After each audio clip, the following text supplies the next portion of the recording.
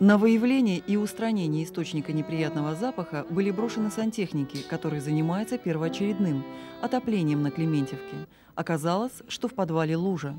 Небольшая лужица, которая находилась на бетонной стяжке, и она и не испарялась, потому что вентиляция в подвале зимой забита, там все. Воду вычерпали, часть грунта сняли, подсушили, продезинфицировали. Работы начали на прошлой неделе, в пятницу. Повторили дезинфекцию в понедельник. 5 февраля работники Госсанэпиднадзора провели повторный анализ воздуха. Я присутствовала при этом и сама могу подтвердить, что все показатели э, в норме, все на нуле. Школу вымыли с хлоркой, проветрили.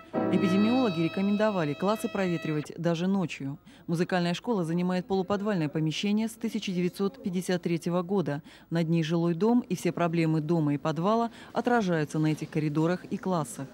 Необходимо было провести вот эти вот мероприятия по очистке воздуха. Вот, но сейчас совершенно другая обстановка.